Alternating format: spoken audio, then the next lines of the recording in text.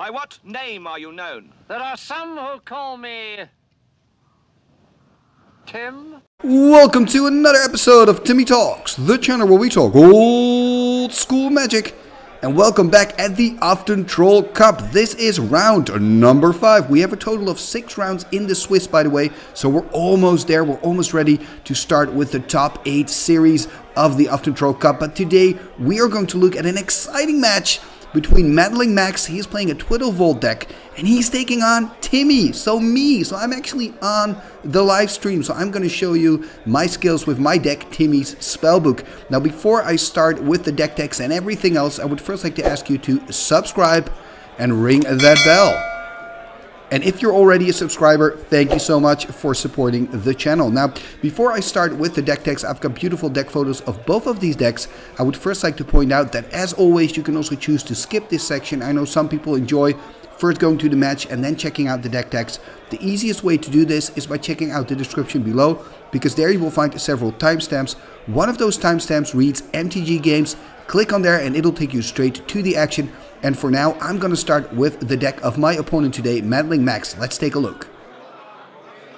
And here we see the deck of Meddling Max. So he is playing Twiddle Vault, one of the best combo decks in the scene, in old school, maybe the best combo deck. Uh, in the second online uh, edition of NoobCon, which is basically the World Championships of old school, Denny Friedman won with a Twiddle Vault deck.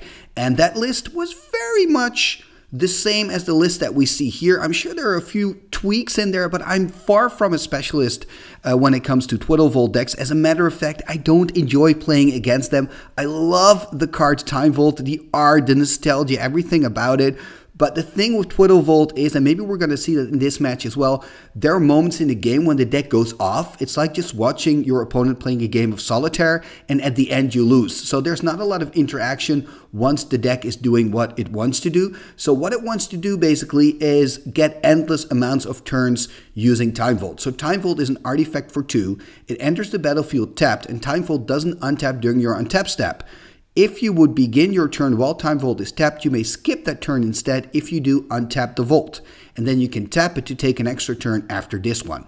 But of course, there are other ways to untap the time vault. The main uh, strategy here is to untap it with Twiddle. So Twiddle is this little blue instant that says tap or untap target permanent, so you can just untap your Twiddle Vault, take an extra turn. Now that by itself sounds kind of harmless, but this deck is all about getting the Twiddles back from the graveyard. There are four recalls in here. Of course, there's a regrowth in here, but there's also a time twister in here. And when you combine time twister and regrowth, you cannot get deck dead, right? So the way this deck works is at a certain point, uh, Meddling Max is gonna draw so many cards with the Howling Mines, with the Sylvan Library, that he's just gonna find a way to recast his Twiddle every single turn. He gets an endless amounts of turns and then he can basically kill me with you know his fireball. So there's a fireball in here and he can just fireball me to death. That's basically what he wants to do. So uh, if his deck works i'm basically doing nothing and he's drawing a ton of cards and he's killing me. I have to say that um, this deck is not easy to pilot.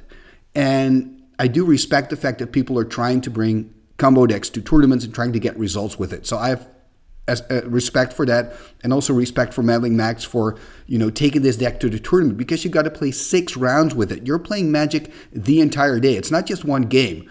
So this deck to play to pilot is actually quite exhausting, and I think there's nobody like Danny Friedman. Like he's he's the top.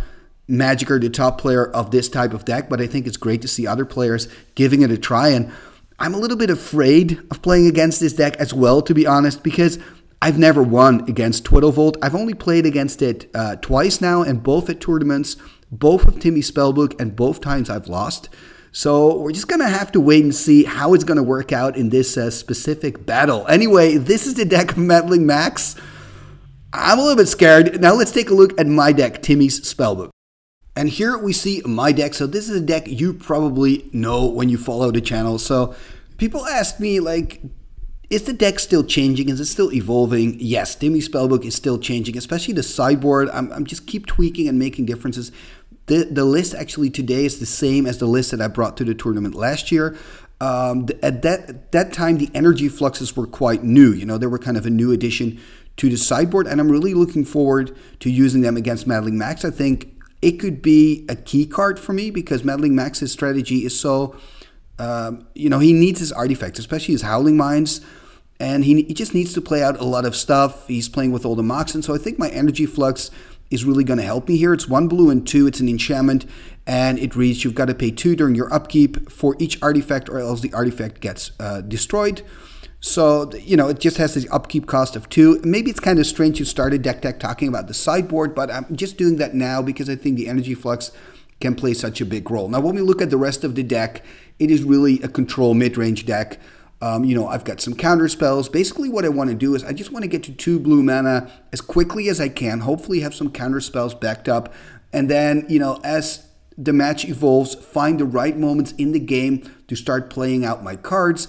It's pretty creature heavy as well because I'm playing with four Tims, two ghost ships, a pirate ship. I'm playing with air elementals, Mahamoti Djinn clone. So I, I just also just want to win by, you know, turning my creature sideways or, of course, pinging with the Tim from a control position.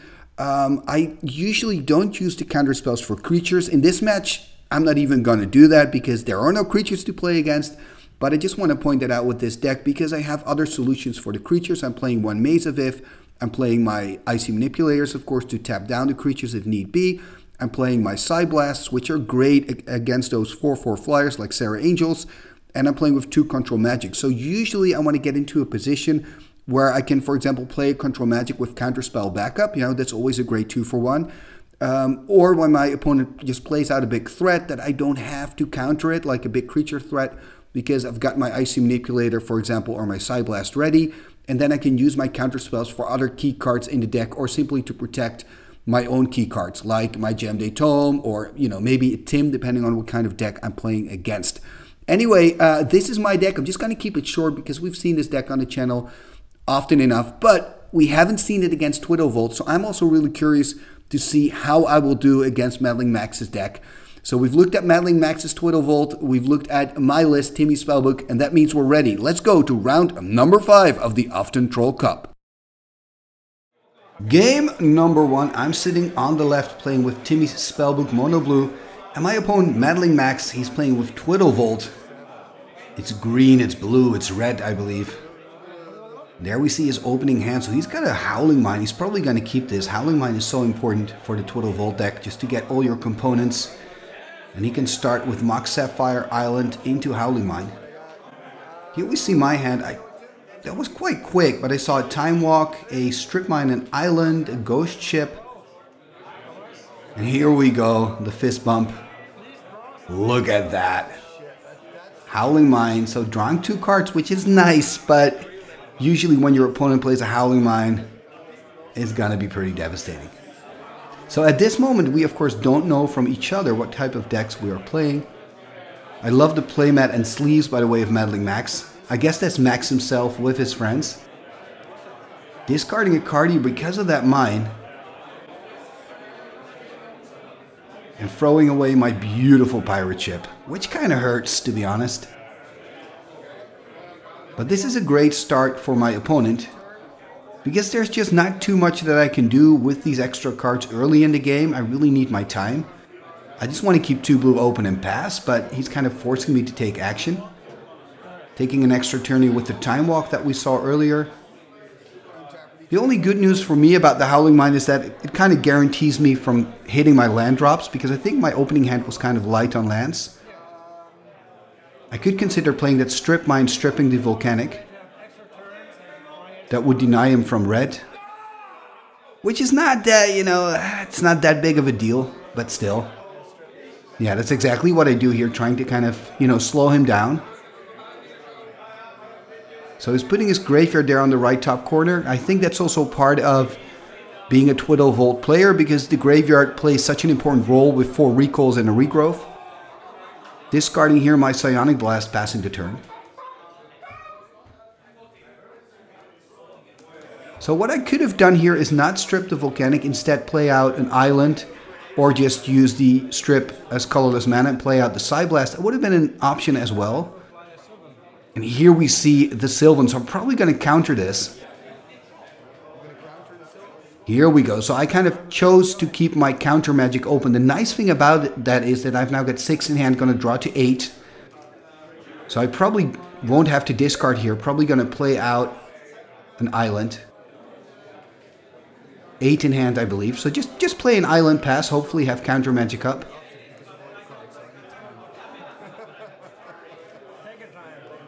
Playing out a Mishra's Factory. Okay, passing the turn. That's actually not too bad. Maybe if I can have another land drop next turn, I can animate the factory, try to deal some points of damage and keep counter magic up at the same time.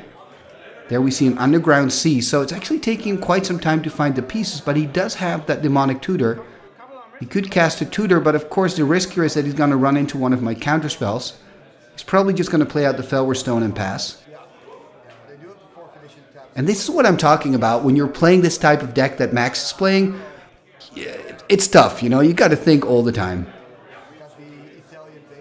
Going through his hand again. There's just not that much going for him. The only good thing about this match for him so far is that Howling Mine. There's the Fellwar Stone, so I'm going to allow it. No reason to counter it, of course. And there we see a Demonic Tutor. He needs to tap the Underground Sea, though. There's a mana drain. So now I've got two extra mana. So hopefully I can play something big, put some pressure on on Max. I mean, I'm not doing a lot in that department. We're both still on 20. I mean, the more time I give him, there's a bigger chance that he's going to find the pieces he needs and that I'm not going to win this one. There's a Library of Alexandria that's going to help me draw some more cards. Looks like I'm to tap down so I cannot counter next turn, taking a risk here, playing the Air Elemental, 7 in hand passing the turn. So hopefully Max is to whiff here. Oh, there's a time vault. Did you see that? And now the question is, what can he do with this time vault? Doesn't have a twiddle yet, though. I'm tapped out. One of the things he could do as well is play a recall on the demonic. Oh man, this is risky. This is the thing with these decks, you know, you take a risk and you're allowing Max to, you know, I tap out, I'm allowing Max this turn, and Max is like, how can I take full advantage of this moment. So he's to pitch two cards in the graveyard. Probably to get back Sylvan Library and Demonic. So that's now removed from the game and past turn. This is not, it could be worse. The question is, do I have counter magic to back me up? To potentially counter the, um, the Time Vault when it hits the board because Time Vault and Demonic in hand and the Sylvan, that's a very strong hand for my opponent Max. What I can do here is uh, get into the red zone, deal 4 points of damage. He's going to drop to 16. I got a clone in hand, but I probably want to keep 2 blue open. I don't know if I have counter magic in hand. Already played out a counter spell and a mana drain, just playing 5 in total. Discarding the Brain Geyser, wow. I'm impressed with my own discipline here. I really, really, really want to try to get this, but I believe he found a counterspell and a time walk. Oh, this is devastating. This is devastating. I wonder if I'm going to counter the Sylvan here, because that's probably the first card he's going to, yeah, playing out the Sylvan, saying, you know what, if you want to counter, counter. And there's a time walk. But do I have the discipline? playing an Ancestral Recall. He's allowing it in response to the time walk. So we've got a nice a blue power battle going on here. I'm allowing him to continue. Is he going to play the time vault? And then do I have a counter spell? I wonder. I wish I could see my hand. Oh, he's going to go for the demonic tutor first. Probably going to look up is he going to... Oh, he's going to want to draw more cards with the Ancestral Recall. Yeah, that's an option. That's an option. I wanted to say maybe a Twiddle, because you want to have a Twiddle in your, in your graveyard as well. But then again, with the Ancestral Recall, he's going to draw two more cards next turn. And, of course, have the Sylvan trigger, so he can look at the top four cards. Then he can play an Ancestral Recall. So there's a pretty big chance he's going to find... He's going to play it right now. Of course, he's got a mana open, so there's pretty big chance he's going to find that Twiddle. And I'm allowing it again. I wonder if that means that I have no counterspell in hand, or if that means that I've decided just to counter the um, the time vault from this point forward. It actually doesn't matter that much because Meddling Max has a counterspell in hand to kind of back up whatever he's going to play out. He's got a twiddle there. This is looking super bad for me because he now gets all the parts uh, of his deck that he needs. Gets the Fireball, gets the Twiddle. Actually, doesn't get the Fireball, but anyway, it's on there. He doesn't need it yet. Brain Geyser, oh, this is going to be crazy. I think I'm not going to have another turn here. Here we see the Time Vault. There we're going to see the Twiddle untapping the Time Vault, taking the extra turn. And that's why the dice is there. So after this turn, he's got another turn. What else can he do? And no counter magic for me, by the way. So I think I just don't have a counter spell. I mean, I was pretending to have one, but I don't. Gonna tap 5, gonna take a damage, gonna go to 10, gonna play a Brain Geyser for 3. Oh man, he's now drawing so many cards. Ancestral Recall, Brain Geyser, Howling Mine, taking extra turns, extra advantage of the Howling Mine. Oh, this is insane. This is insane. And this is actually how Vault is working. So I'm just sitting, looking at this, drinking a beer. And now he's got a regrowth Oh uh, yuck! So he can regrow. He also has a recall. He's got he's got so much. He's winning this game so hard right now. And this is where I remember being in this point of the game and I started thinking, okay, there are 50 minutes in an entire match. How long am I going to look, going to look at this before I concede? And I'm, I'm not a fan of conceding, but in a tournament where you only have 50 minutes and when you're at a Twiddle against a Twiddle Vault deck that's simply going off, there's not much you can do. You know, so I'm giving it a few turns here, but I'm already thinking, okay, at a certain point, you know, it's enough, and I'm going to uh, concede here and go to game two. And then hopefully in game two, I'm going to go for a very aggressive strategy, and I'm also going to board in my energy fluxes, and hopefully I can get uh, a win that way. But that's something you always have to keep it. Well, you don't have to, but it's it, it's it's it's a good idea to have it in the back of your mind, you know. So he's now taking that turn. Look at all those cards. He doesn't really need these, but he's gonna draw them anyway. And this is where, for example, the Psionic Blast could have been handy just to keep it in hand, because he's now all the way down to 6. So if my deck would have been a little bit more aggressive, you know, I could have gotten this game. Then again, he's got so much counter magic now probably in hand that, you know, a Psyblast is not going to make it. The nice thing for me, I guess, is that this is giving me a lot of information, although I already know how these type of decks work. So using the recall, I'm saying, you got this, because now he's going to get back the regrowth, the twiddles, the whatever, and he's going to get endless amounts of turns. So I'm conceding here. Well done, Max, winning game number one. We're going to dive into our sideboards, and we're going to catch back up with you in game uh, number two. Game number two, here we go. So at least I'm on the play, right? And here we see my hands. Ooh, I've got two counter spells. That's good. He's going to play out an island, pass the turn. Hopefully he does nothing silly. Here we see the hand of my opponent. Oh, again, a Howling Mine and the Library of Alexandria. He's going to draw so many cards. And he's got a Time Vault. This is really tough. So playing the Tolaria, there's some art on there by MTG Underground, so maybe he's asking, what is that?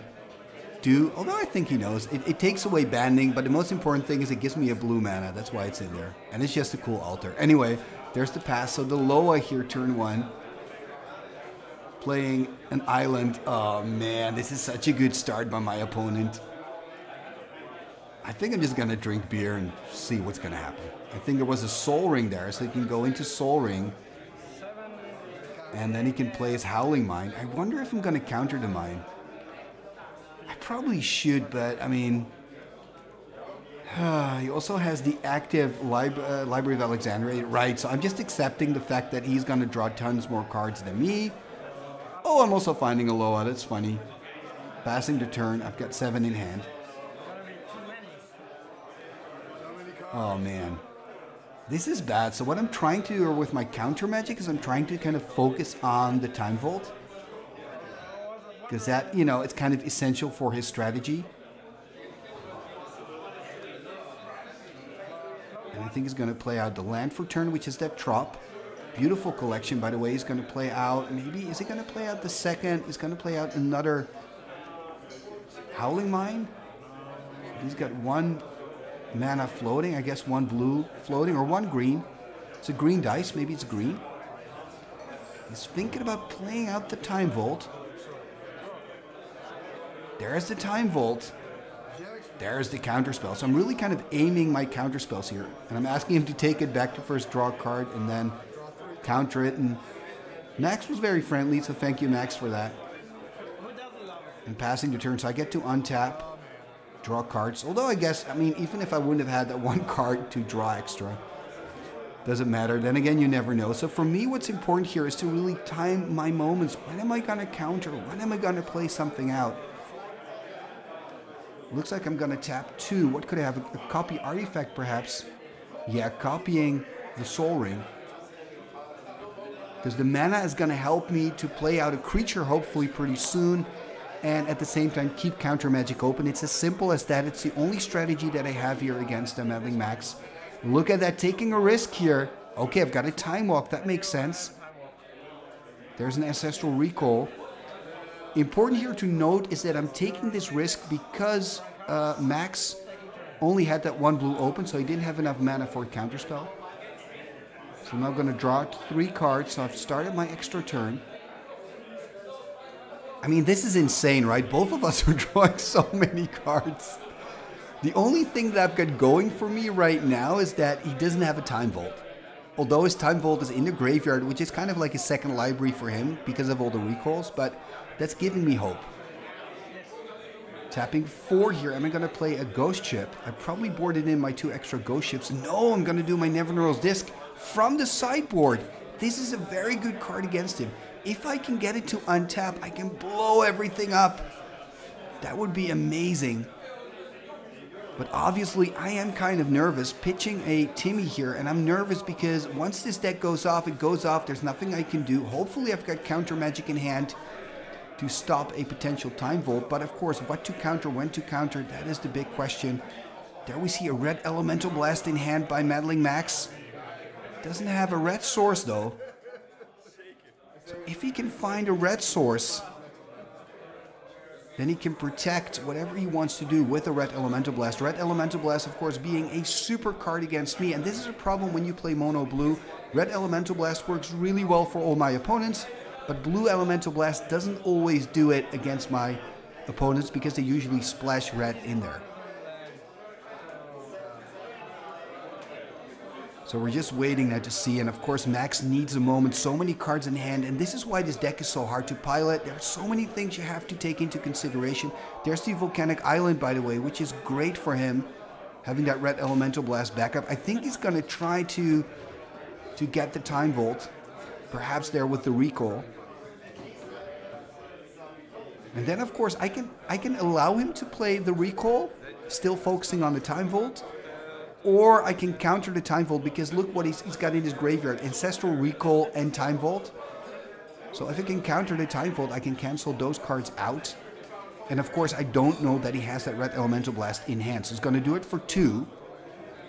So now I have to decide, am I going to counter right now or am I going to give him the opportunity? I'm first going to draw a card. And now I'm going to try to counter. So I'm going to try to counter the recall. There's the red elemental blast from the sideboard. What two cards is he going to pitch? Is that a Shivan Dragon, by the way, in, in his hand? Or just another red elemental blast? Kind of hard to see. I think it's a Shivan. That's pretty cool coming in from the sideboard. So he's pitching two cards there, getting back the Ancestral Recall and the Time Vault. And now he's probably got a discard eight cards in hand, I believe. Yeah, and I'm kind of sorry here, Max, but I, I needed to have a good idea of what your graveyard was, what was on the battlefield, so sorry for doing that. He's actually going to discard the Time Twister. That is pretty cool. The question now is, am I going to use my Nevinyrral's Disc, or am I going to let him play out the, the Time Vault? Funny, by the way, we see Max rearranging his graveyard. You shoot Max, at your deck. I'm sorry for doing that. They're your cards, but yeah, I was kind of like, I just wanted to make sure that I knew what was on the battlefield and what was in your graveyard. Then again, this way it's very clear. You know, I can see the cards in your graveyard. For example, if you would just put them in a pile behind your, your deck, that would be difficult as well for me. Actually, what I'm doing would be more difficult because your graveyard is so important. Maybe I should add a Tormod's Crypt in my sideboard against these Time Vault decks. And now I'm really in the tank. I'm like, what should I do? Should I use the disc so he doesn't draw, you know, three cards, but he still has the Ancestral and Alola? What I could do here is I can strip the Alola, activate the disc. Oh, this is so tough. And maybe, you know, I don't know if I have counter magic in hand. I'm, yeah, I'm going to use it. Going to use it here. So blow up his stuff. I've got one mana floating. And I'm gonna blow up. Ooh, this is tough. This is this is a strange decision. I remember this moment. What I want to do is I want to make sure that he cannot play out a Sylvan Library. You know, so I want to take him off of green. Um, but of course, there's also the Loa, the Library of Alexandria. But I'm like, he's already drawing so many cards. So I'm just gonna allow him to keep giving him the Loa on the but looking back at this, I kind of doubt my decisions. And here we, by the way, see a really cool altar made by AS Altars on this event. He was there, so I asked him to make this card for me, Timmy. And also, I love to support artists. So, you know, whenever I can, I really like, I'm also a big fan of Buddy. He also makes altars. He's also made a few. Anyway, passing the turn here. But my reasoning here was I want to cut off the option for him to play out of Sylvan. In hindsight, I think it would have been better to just go for the Library of Alexandria um, or go for the Volcanic Island because of that red Elemental Blast. But we'll just have to wait and see. At least, at least the disc was bad for him, right? I mean, it took care of all his mana and his and his Howling Mine, so he now only has four mana, which is kind of tough for him. Looks like he's gonna play out a second, another Howling Mine, Howling Mine number three. Oh, there's the Time Vault. Am I gonna respond to the Time Vault? First, I'm gonna draw a card. Think I'm gonna respond here. There's a counter spell, and he's putting it into graveyard. So I'm lucky that he doesn't have a red Elemental Blast here. Seven in hand, gonna draw card number eight. That is really nice because it's a ruby, so he can play the ruby. He's going to play a land for turn. I don't think he's played a land yet. Exactly, play a land for turn, play the ruby. Play the Sylvan. Wow. And the Ancestral Recall. This is an awesome moment here. There's the Red Elemental Blast. So one of the lines of play could have been for him to first play Ancestral Recall and draw into that Red Elemental Blast, or maybe I would have tried to counter it and then play the Time Vault, but I think he's counting on drawing into Recall anyway. Actually, he already has one in hand, so he doesn't mind it, it that much that the, uh, the Time Vault is there in the bin. Anyway, taking, taking on my turn. My opponent still being here on 20. Whoa, this is huge. Energy Flux. I talked about this card in the deck deck. So Energy Flux puts a tax of 2 on each artifact. So you pay for it or the artifact gets destroyed. And you have to do that in your upkeep. So it's now all the artifacts have an upkeep cost of 2. Card from the sideboard. I have to say my sideboard is performing really, really well here. So he's tapping 2 mana of the Mox and just to keep a Mox around. I mean, the disc was really good against Max, and I think this card is really good against him because, you know, now he only has that one, one Mox. But this is, you know, he cannot use two mana, the mana for his Moxen, and his whole deck. You know, he wants to play out Howling Mine, wants to play out Time Vault.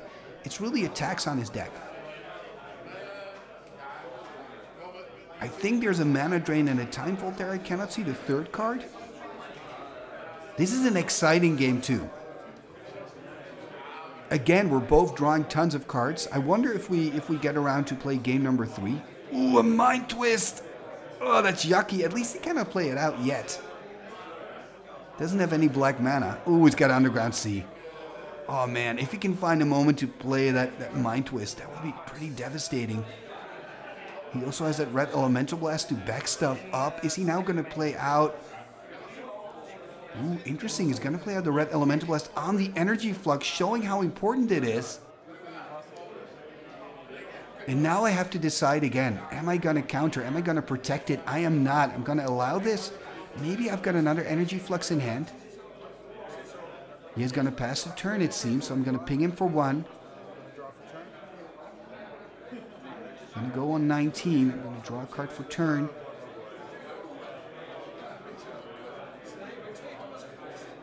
Let's see what I can do here.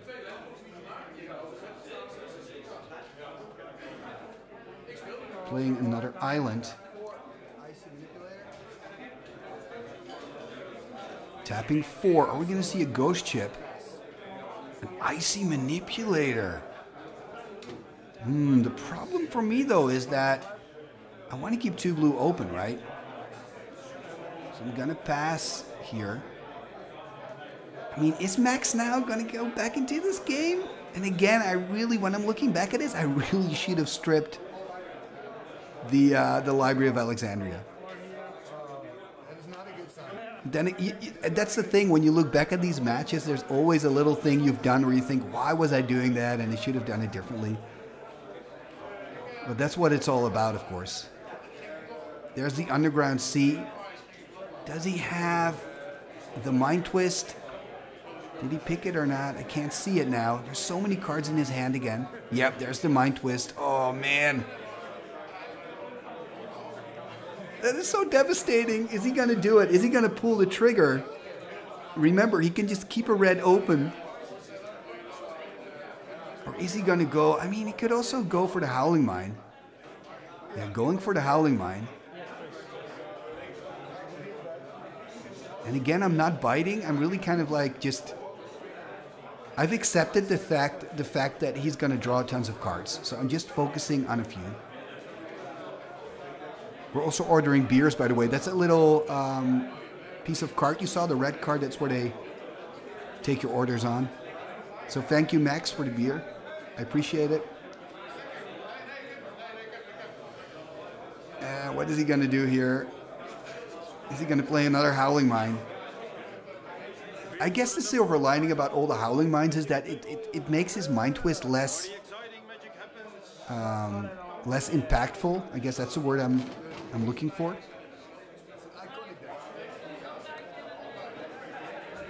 And he's really into tank here. What is he going to do? Also has that time vault, of course. It's hard to see the rest of his hand, though.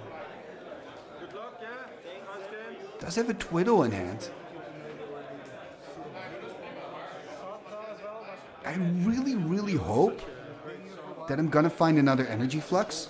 Because that would again be devastating for him. He's going to pitch a Sylvan past the turn. I'm going to ping him again. He's going to go to 10.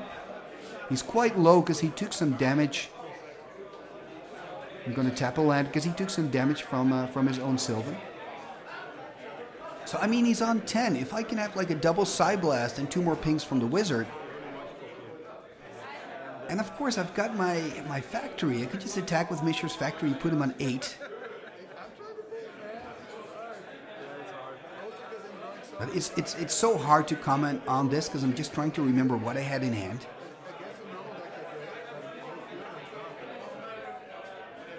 Very exciting game number two. Because, I mean, again, when you're playing against a deck like this, you're like every moment he can tick off and he's gone. He's out of reach. So, whenever I get a turn, I have to take the fullest out of my turn. I have to assume there's not going to be a second turn.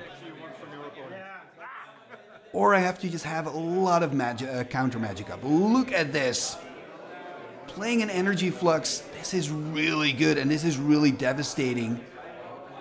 Are we gonna see? No, he doesn't have a red elemental blast. And he doesn't have enough mana open to counter, so this is ideal for me. Gonna play a copy on the uh, on the icy manipulator. That is an interesting choice. I could have chosen to keep four blue open to potentially play out a double counterspell. So I'm kind of signaling to Max that I only have one counterspell. I'm actually changing my mind here. I'm taking it taking it back, changing my mind. So I guess I do want to keep four blue open. But, you know, it's so difficult because you also don't want to discard cards, but I think I've got to be disciplined here and just discard cards. Just do it, you know. Double counterspell is going to save me if I have it. Uh-oh. I guess I'm going to attack. Okay, I guess I want to attack for two instead of... I guess that's better as well than copying the, the Icy. Also because I don't have enough mana to use both of the Icies. And 8 is pretty low. I'm going to pitch here an Air Elemental and pass a Impacitor. Oh man, and now the Energy Flux. This is this is devastating for Max here. This Energy Flux because untap upkeep before he can draw, he's got to decide. I mean, if he taps the mana down to, to keep the the Howling Mines ar around, which is kind of what I expect, it means he'll have less mana to actually do what he wants to do, and he needs quite a lot of mana. So he's going to pay two for a Howling Mine. He's going to let the other Howling Mine go, probably because he has so many components in hand already, which is still great for him because he gets to look at the top four cards because of that Sylvan.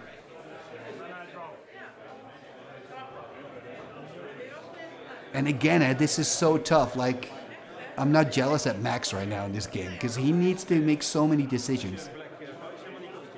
Red Elemental Blast. Wow, those are four interesting cards. Yeah, he's going to go because he already has Twiddle in hand, I believe. Wow, and now he's got a double protection for whatever he wants to do. Mana Drain and a Red Elemental Blast. Oh man, I wonder what he's gonna do.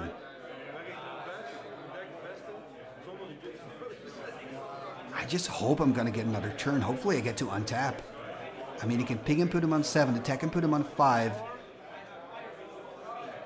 And maybe then ping him again and, and, and play a Side Blast if I time it right. Anyway, there is a Mind Twist. Mind Twist for 4 here, it seems.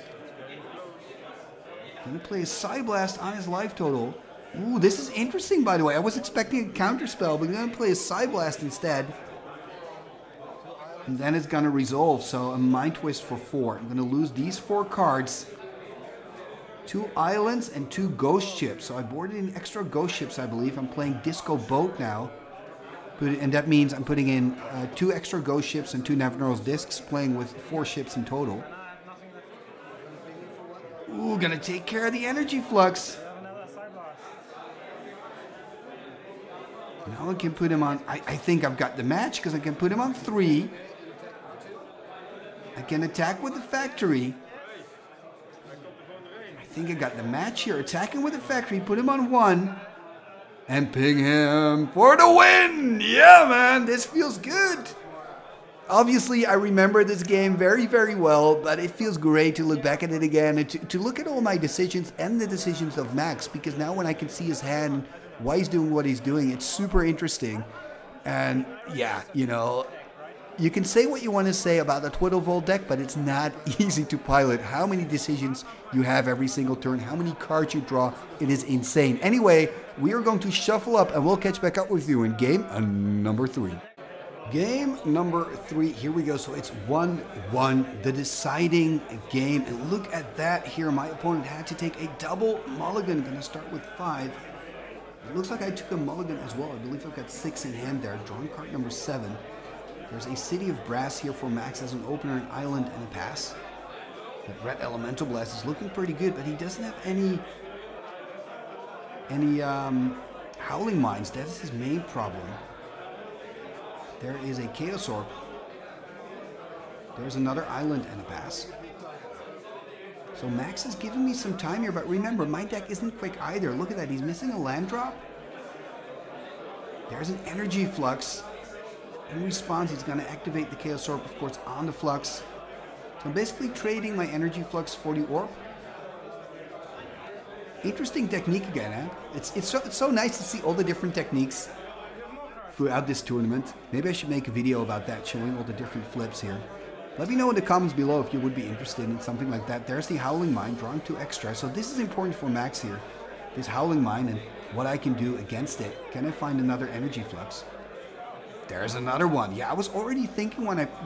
Ooh, yeah, of course, he had that Red Elemental Blast in hand. Giving him here the thumbs up. This is a perfect response. Because I already thought when I when I played out the first one into the Chaos Orb, I'm like, hmm, is this a good decision? You know, I mean, should you trade this because it's it's such a, a breaker, a deal breaker for for Max's deck. But I had the second one in hand. There is the Time Vault. Oh man! The only good thing from here is that there's only one card in hand for Max. I believe it's the Shivan Dragon, but I'm not sure. Tapping four here. What am I gonna do? Playing a Nevinyrral's Disk. Okay, this is perfect. And I've got counter magic up. So hopefully I can kind of contain the situation here. Counter away whatever the most threatening. Yeah, there's a Shivan Dragon that's so cool that he boarded that in. Just play out the well. I mean, you don't want to play out the Shivan because you're going to play into the uh, into the disc, so that would would be a really stupid move. But I'm hoping to see the Shivan somewhere in this game. Would be super super cool. Anyway, gonna use it here. This is just the disc is so good. It's done so much for me in these games. I mean, my deck after sideboarding is much better against a Twiddle Vault.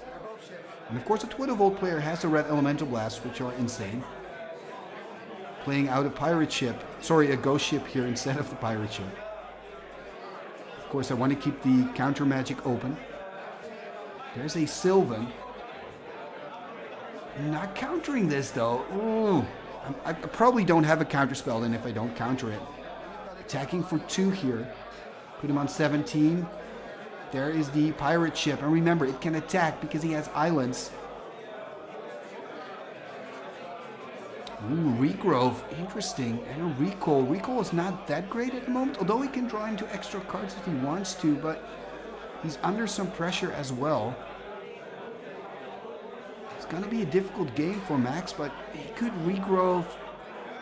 Regrowth. Play Regrowth and then Regrowth the Red Elemental Blast. Uh, you want to get the Time Vault back, but I think the Vault, I would just leave it for now. It's difficult.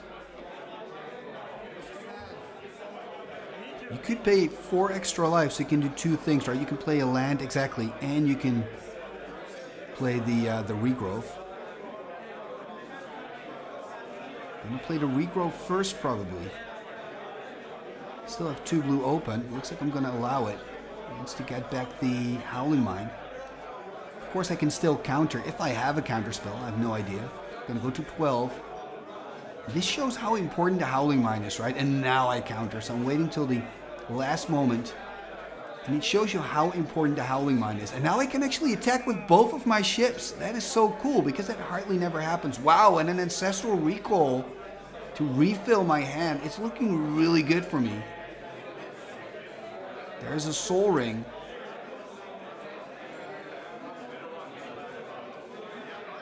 Gonna attack first. That makes sense. Gonna hit him for six. Wow. Look at Pirate Ship doing work. Whoa. I'm so proud of my deck right now. So happy. Anyway, tapping five. Playing an Air Elemental.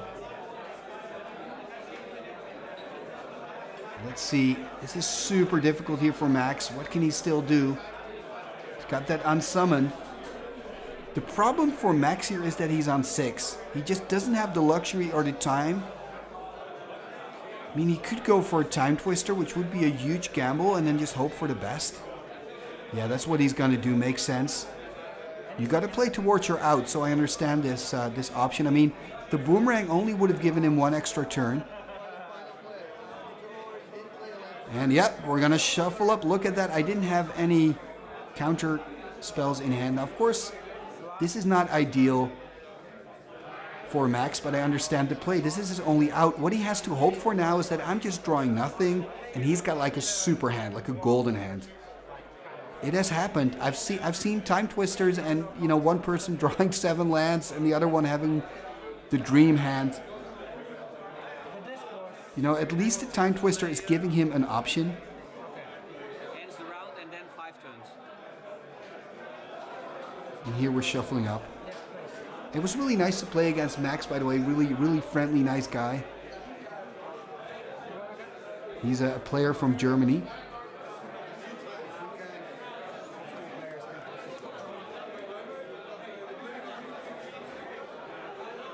And there we go. He's going to draw his seven. Now, the good news for me here is that I've got three islands open, so I can still counter. But he has a red elemental blast to protect it. Oh, it doesn't look great. He needs a time vault. He doesn't have a lot of mana. Is no lands in there? I mean, it, it, was a stretch, this Timetwister, because he really needed like the perfect hand.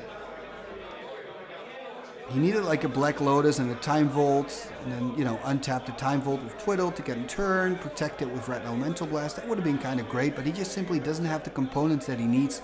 He can, of course, try to use the Red Elemental Blast to give him another turn. Yeah, taking care of the ship. That is really cool. And he's got the Twiddle to tap down the Air Elemental. So he can wait for that. And then, oh, I found my Ancestral Recall again. Gonna play that out. That is very lucky. I'm gonna untap, so I probably have Counter Magic in hand, but again, when you're max, you gotta play towards your outs. He's gonna try to twiddle here. Gonna go to four. Ooh, and it works! That surprises me. No Counter Magic, or perhaps I have a Side Blast in hand. Yeah, I've got a Side Blast in hand. Okay, that explains it. Side Blast. Winning it here, 2 to 1. And what I'm really happy with looking back at this match is that my sideboard plan worked out. You know, whenever you sideboard, you have this idea this is what I want to do with the discs, this is what I want to do with the fluxes.